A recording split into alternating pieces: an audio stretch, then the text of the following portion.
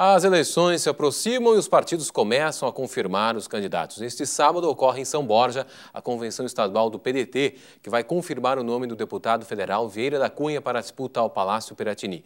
No dia 27 de junho, no Teatro Dante Baroni, da Assembleia Legislativa, será a vez do Partido Progressista referendar em convenção a candidatura de Ana Amélia Lemos ao governo do Estado.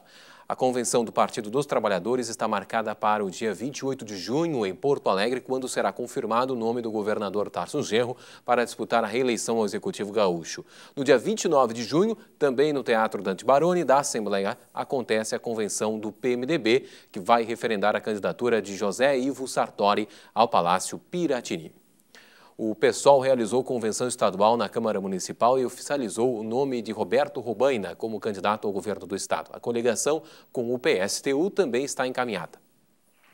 O anúncio foi feito em convenção do partido na Câmara Municipal de Porto Alegre. A coligação com o PSTU, chamada Frente de Esquerda, também confirmou Gabriele Tolotti como candidata a vice-governadora.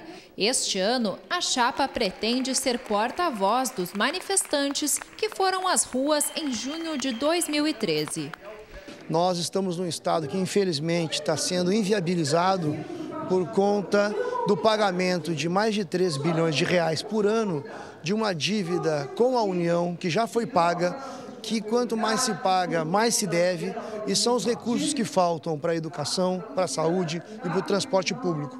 Nós, portanto, vamos defender nessa eleição que o dinheiro público vá para atender aos interesses do povo. O PSTU vai indicar o candidato a senador pela coligação. O nome de Júlio Flores deve ser oficializado em convenção do partido na próxima semana. Nós vamos nos mobilizar no espírito das lutas dos trabalhadores, das greves, das mobilizações que estão ocorrendo e, particularmente, no espírito de junho do ano passado. A pré-candidata à presidência da República pelo PSOL, Luciana Genro, ressaltou a importância da união da esquerda nas eleições deste ano. Aqui no Rio Grande do Sul, nós tivemos uma vitória extraordinária em conseguir constituir a frente de esquerda com o PSTU, tendo o Roberto encabeçando a chapa, junto com o Júlio Flores, candidato ao Senado. Essa é um, esse é um exemplo que nós queremos mostrar para o Brasil, que aqui no Rio Grande do Sul nós conseguimos conquistar. Infelizmente, em nível nacional, estaremos com candidaturas separadas, tanto o PSTU com, José Maria, como o PCB com Mauriase, mas acreditamos que, mesmo com candidaturas separadas, estaremos unidos no debate debate político. Mais um dia de muito frio no estado. Na madrugada, a temperatura em Porto Alegre chegou a 4,8 graus. Em Quaraí, na fronteira, fez menos 0,7 graus. Em São José dos Ausentes, nos campos de cima da serra, a temperatura chegou a menos 0,2 graus Celsius. Neste momento, a temperatura em Porto Alegre é de 10 graus. As crianças são mais suscetíveis às doenças do inverno, por isso a estação exige uma série de cuidados dos pais. A pequena Laís tem bronquite asmática. A chegada do inverno é sempre motivo de preocupação para a mãe. Na queda da temperatura, ela sempre fica ruim da garganta, do... escorre o nariz, tosse seca. Além das doenças alérgicas, como a bronquite asmática, também aumentam as ocorrências provocadas por bactérias, como sinusite e pneumonia.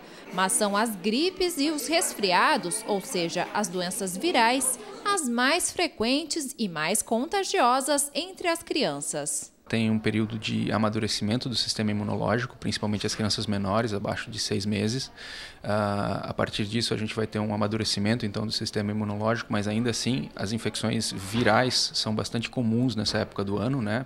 tanto pela forma de contágio, que é bastante fácil e comum, principalmente nos ambientes fechados, conglomerados, com várias pessoas e pouca ventilação, e também pelo contato direto, então facilita essas infecções. Período de frio, é preciso que os pais redobrem os cuidados. Procurar manter o ambiente arejado, ventilado, evitar contato com, com gente doente, procurar lavar as mãos com frequência ou usar um álcool gel. Uh, evitar uh, a frequência uh, ambientes fechados como uh, de pouca circulação de, de vento, mas com muita circulação de pessoas, como shopping centers, como a escolinha, a creche, né, que também é um fator de, de complicação para a gente. E com todo este frio, vale lembrar que as unidades de saúde continuam vacinando contra a gripe os grupos de risco. Os postos funcionam de segunda a sexta-feira, das 8 da manhã às 5 da tarde, à exceção dos dias de Jogos do Brasil e Jogos em Porto Alegre. A seguir, você fica com o programa Estação Cultura, mais informações à tarde no TVE Notícias e depois no Jornal da TVE, segunda edição, às sete e meia da noite. Voltamos na segunda-feira, ao meio-dia e 30. Até lá.